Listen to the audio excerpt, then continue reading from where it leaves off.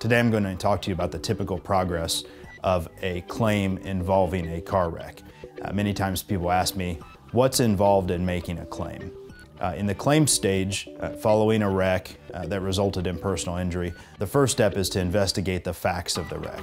Uh, that typically entails obtaining a full and complete copy of the police report, uh, obtaining any witness statements, any other types of statements that were made relative to the wreck, getting scene photographs and measurements.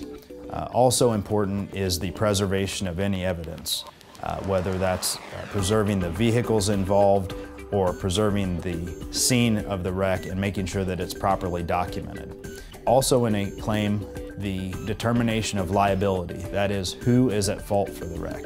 Uh, many times the facts of a wreck appear straightforward and uh, not in dispute, uh, but that's not always the case. Uh, many times there has to be a determination of comparative fault, uh, meaning the assessment of fault between all parties involved. Many times the determination of fault uh, involves uh, hiring an accident reconstructionist to analyze the dynamics of the various vehicles involved, the directional forces, who was traveling where and at what speed.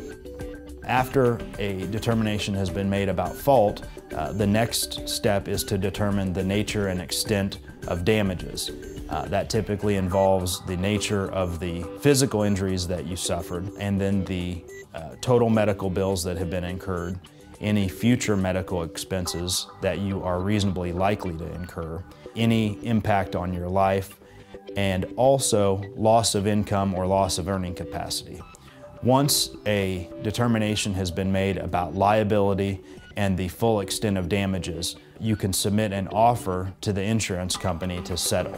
Uh, at that point, uh, the claim stage is essentially over either by way of settlement or by proceeding to trial. I hope that provides you with information regarding an automobile claim following a car wreck. If you have any questions or would like to discuss your claim, please call 913-451-9505. Thank you.